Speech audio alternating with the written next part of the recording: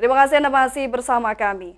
Pemirsa dua pelaku pembunuhan terhadap calon pendeta muda Melinda Wati Zidomi akhirnya diponis Majelis Hakim Pengadilan Negeri Kayu Agung.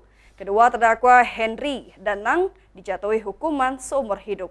Lebih ringan dari tuntutan jaksa penuntut umum yang menuntut kedua terdakwa dengan hukuman mati.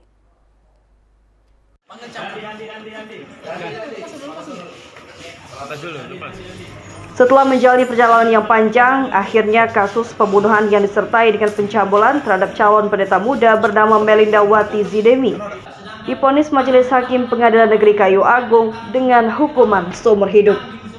Kedua terdakwa Henry, 18 tahun, dan Nang, 20 tahun, diberikan hukuman seumur hidup oleh majelis hakim, lebih rendah dari tuntutan jaksa penuntut umum yang menuntut kedua terdakwa dengan hukuman mati. Kedua terdakwa dituntut jaksa yaitu pasal 340 KUHP dan 289 KUHP Junto 55. Keduanya telah melakukan pembunuhan berencana dan tindak pencabulan seperti pasal yang ditentukan. Atas vonis yang diberikan melalui batuan hukumnya, dua terdakwa menyatakan pikir-pikir.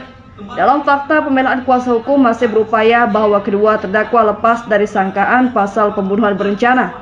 Sebagaimana diketahui, kedua terdakwa Henry dan Nang telah melakukan perencanaan untuk memperkosa korban Melindawati Zodomi saat pulang dari pasar pada 26 Maret 2019 lalu di kebun sawit desa Sungai Baung, Kecamatan Air Sugihan, Kabupaten Ogan, Kombri Ilir.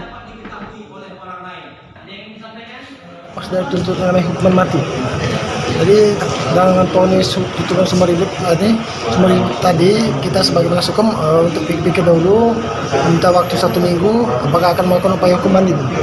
Kalau memang kita akan melakukan upaya hukum banding, maka kita akan dengan upaya hukum tersebut.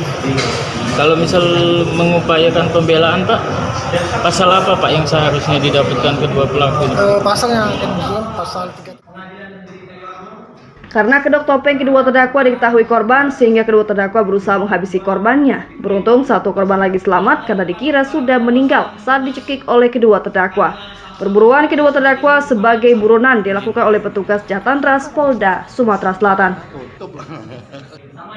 Dari Ogan Kombring Ilir Novan Wijaya, iNews melaporkan.